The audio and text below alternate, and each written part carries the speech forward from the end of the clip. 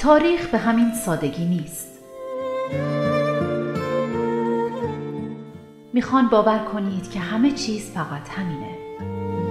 اما تاریخ مثل یک کاغذ سفیده. بارها شاهد تا شدنها بوده. بارها شاهد مچاله شدنها بوده. بارها شاهد پاره شدنها بوده. و بارها شاهد از نو نوشتنها بوده. اما در لابلای این برگ ها صفحاتی هم هست که کمتر ازشون گفته شده صفحاتی که برگ های افتخار یک تاریخ هم. تاریخی که با مقاومت و ایستادگی و عشق به آزادی تنیده شده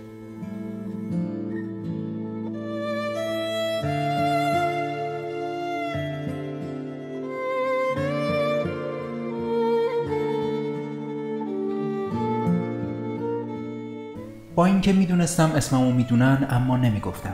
می‌خواستم آبدیده شدن فولاد رو آزمایش کنم. احمد رعوف بشر دوست. اگر در مسیر مبارزه سختی نبود بدان که آن مسیر حق نیست. بهای به دست آوردن پیروزی و آزادی نهایت فدا و گذشتن از همه چیز است.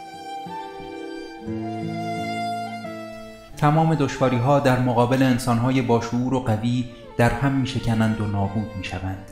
بنابراین اگر می خواهی در آینده مشکلات زندگی تو را در هم نپیچد و خرد نکند آگاه باش و با اراده. امیر مهران بیقم.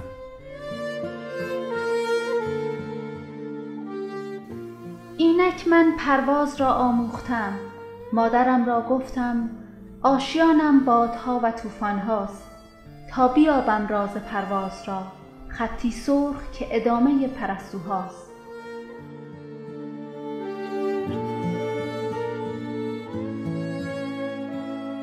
بگذار مرتجعین باز هم ما را به زندان اندازند شکنجه کنند اعدام کنند.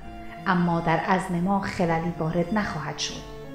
آنان محکوم به فنا هستند و ما پیروزی.